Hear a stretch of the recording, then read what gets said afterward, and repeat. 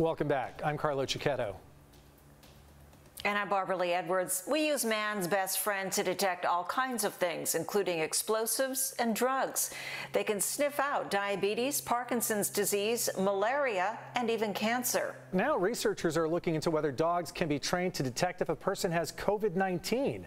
News 8's Kelly Hessedal spoke to a researcher in London who's currently studying that.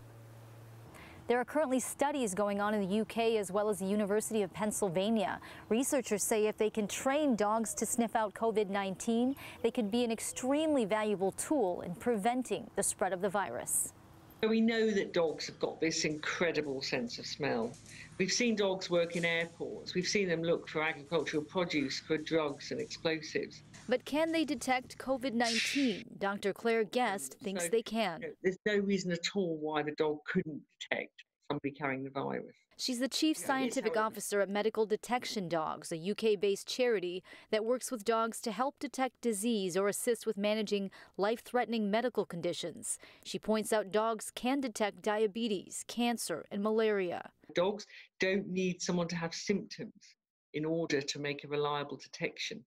We know that from malaria, they can they can detect in those first few days when you're carrying the odour, you're not actually um, developing symptoms. Though it's unclear if COVID 19 carries a specific odor.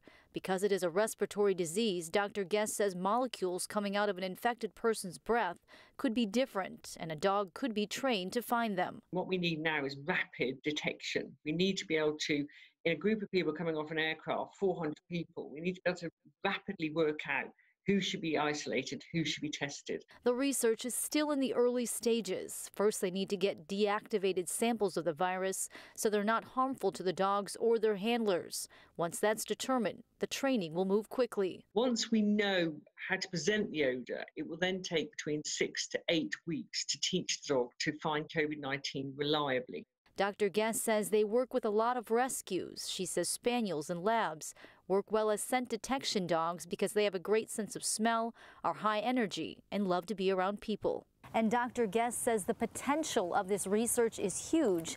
Should they successfully be able to train dogs to sniff out COVID 19, they could then pass that methodology on to other countries. Back to you. Thanks, Kelly.